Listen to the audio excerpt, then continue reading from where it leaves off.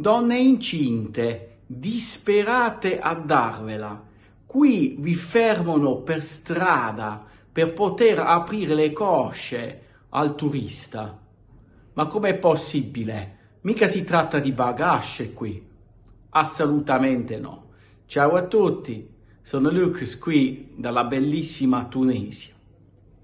Allora guardate, si tratta di un fenomeno della capitale Tunisi e vi voglio pure parlare del caso di questo ragazzo Mza e che cosa è successo a lui. Lui bravo ragazzo veduto in Tunisia dalla Costa d'Avorio. Allora qui è così.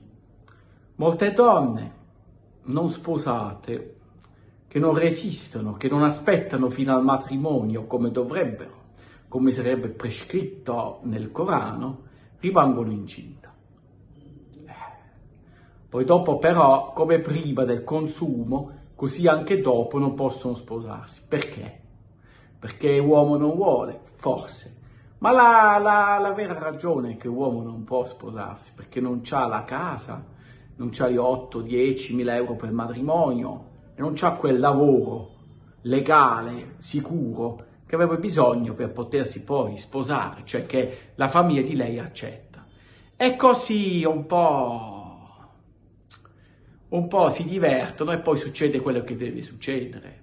C'è anche molto stupro qui e poi le donne non denunciano. Quello è un altro, un altro sarebbe un video perché le donne non denunciano lo stupro.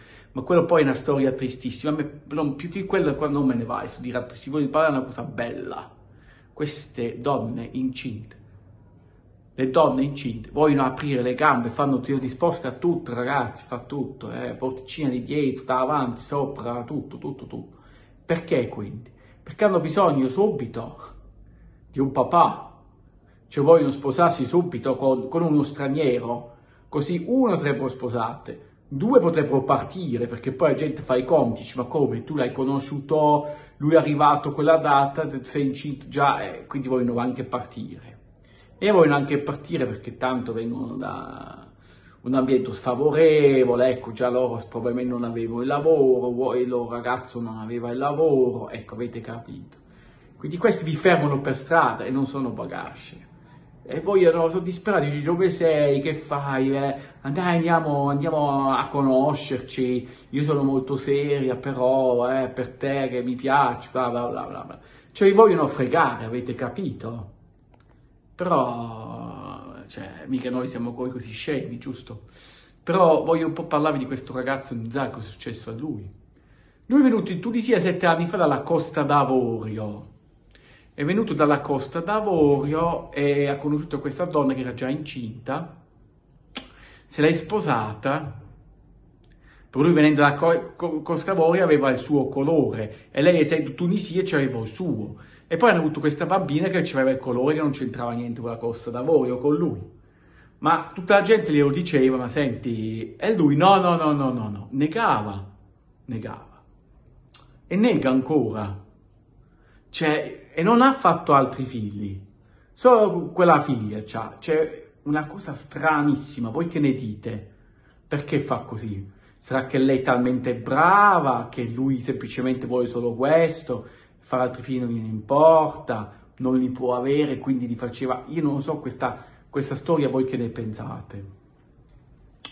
Però ecco, la cosa fondamentale è che se venite in Tunisia sono tante queste donne incinte e stanno lì nei posti più turistici, un po' a Sfax, ma soprattutto nella capitale Tunisi. Non andate a pensare che se andate nei, nei posti poveri, che là troverete le poverelle disperate, perché là sono sotto un controllo che pure se vi mangiano con gli occhi, e lo faranno, e lo faranno se andate a Casserina, il Kef, le donne vi mangiano con gli occhi, cioè, ah, il passaporto europeo, più che... Immaginate vede uno come me che cosa pensa, pensa quanto è bello, quanto è giovane, e pensa questo ci avrà il passaporto europeo, ci avrà qualche soldo, possiamo fregarglieli. Eh. E comunque fate così, venite, venite a divertirvi, dai, subito, prendete un volo low cost e venite in Tunisia.